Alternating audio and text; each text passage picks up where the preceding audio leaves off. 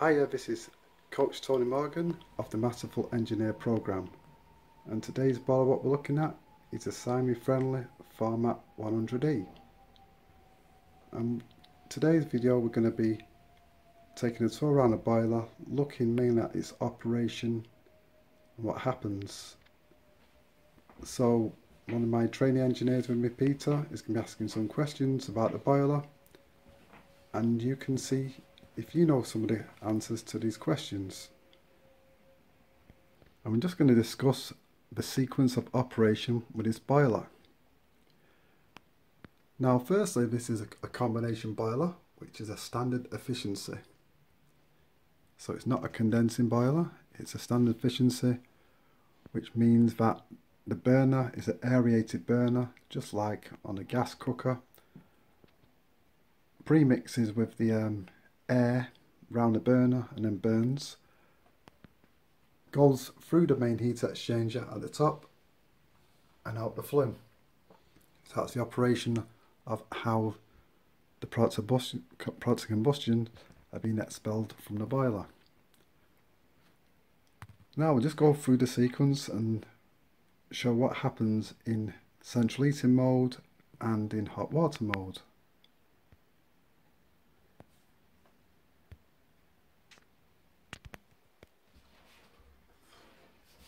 When we run the hot water tap, the water flows through into the water section of the diverter valve. It's difficult to see, but that's the micro switch at the end of the diverter valve. So that moves, makes that micro switch on the end of the diverter. At the same time it shuts off the port which is going to the heat and return. So the primary water from the main heat exchanger which is up here sends its power from the primary heat exchanger into the hot water heat exchanger here to heat up the hot water. At the same time you've got cold water coming into the plate heat exchanger and then going into hot water from the transfer of heat from the primary water at the same time that's happening, you've got this sensor here, which is the main flow pipe, and the overheat thermostat. They got the calling. Once that takes place, the fan will run. The air pressure switch will be made, provided it's in the right position. Send the signal down to the ignition control box, which is this blue one. That will then send a spark up this lead here. And then once the spark takes place the gas valve will be opened. This will be energized by again the ignition control box which is connected to the gas valve as you can see. The gas is released the spark lights the gas and then the burn the burner is burning. At the same time you've got this flame um, detection lead which is on the end of the probe. That monitors the flame keeps the ignition going and then you've got your hot water.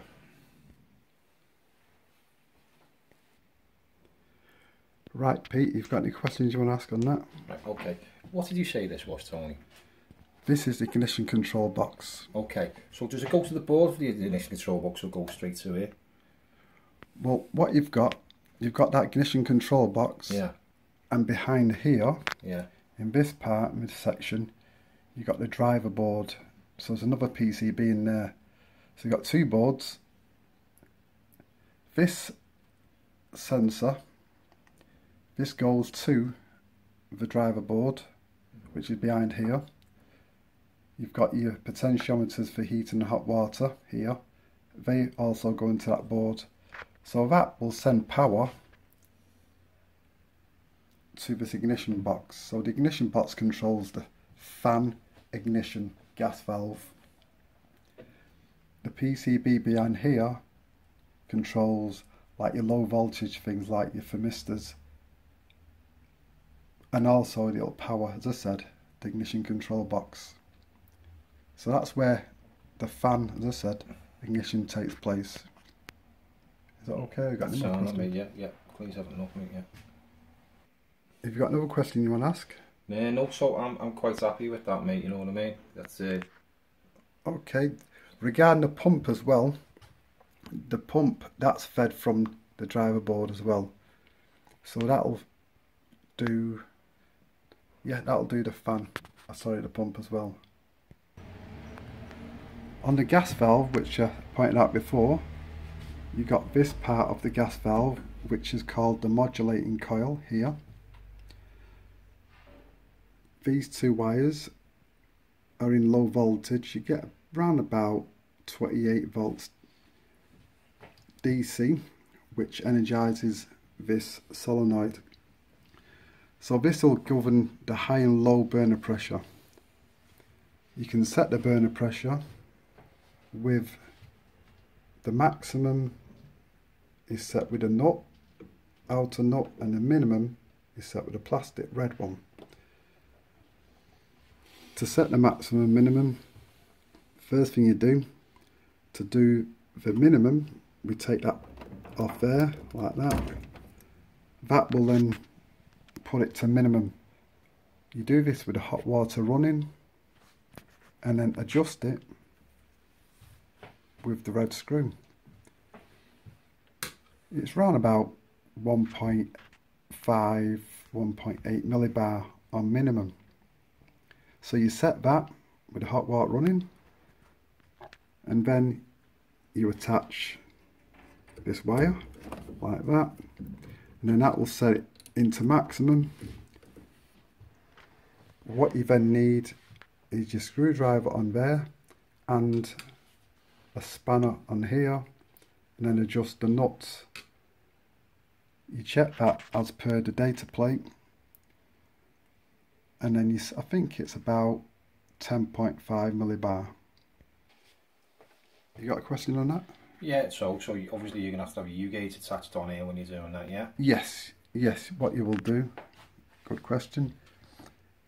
This is your outlet on your gas valve. You'll attach U gauge on that and then you'll be able to see the adjustment on U gauge.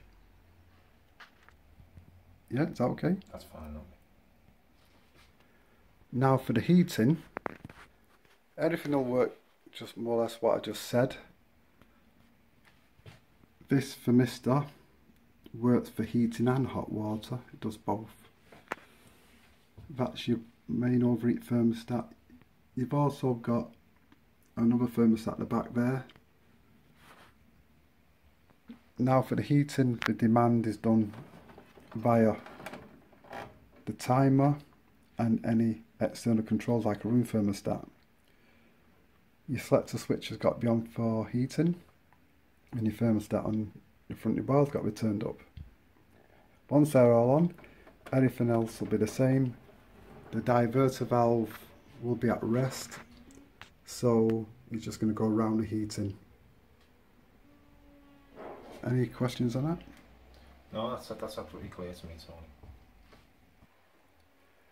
Right, on the um, central heating, on this particular boiler, it's a range rateable boiler. so on the older ones like this, standard efficiency, you could range rate it depending on what the heating load was. So if you look closely, I've pulled the central heat knob, knob cover off, you can see the A and B. These are like potentiometers what are on the PCB and you can set the maximum output for the radiators via this.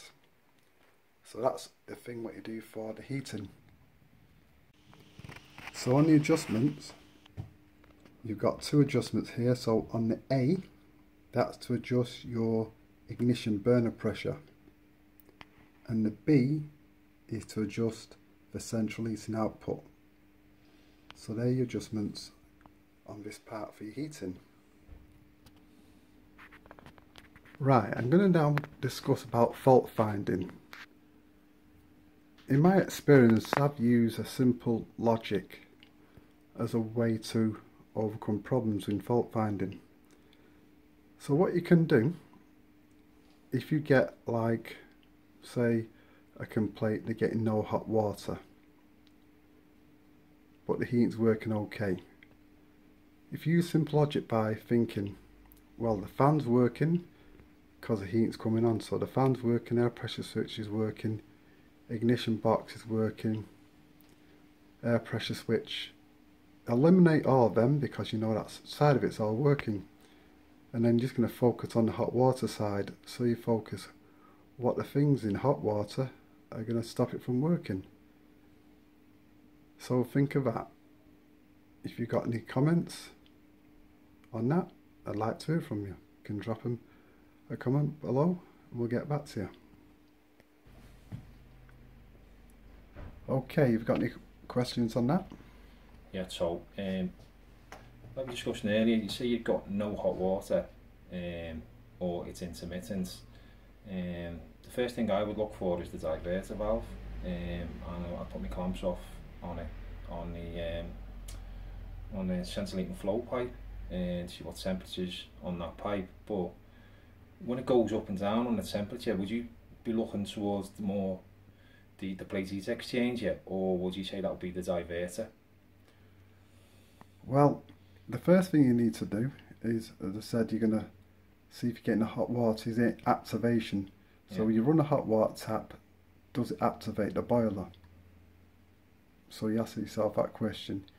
If it's no, no activation whatsoever, yep, I would be looking at the divert first and you're going to check to see if the pin's moved, if it's moved over to the micro switch. So the micro switch is difficult to see. That's a micro switch assembly and that's a diverter valve housing. You'd have to take the cover off off there and to see the pin move across. Or you could hear it by running the tap. You'd hear the click. So what we'll do we'll run the tap now. We'll go and run the hot tap.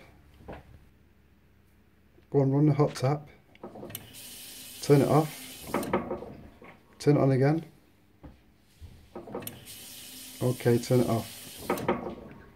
So we hear the click. That was the micro switch being made by the plunger coming out from the diverter valve.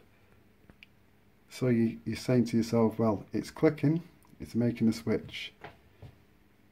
Now if it was still dead after that happening what would you think?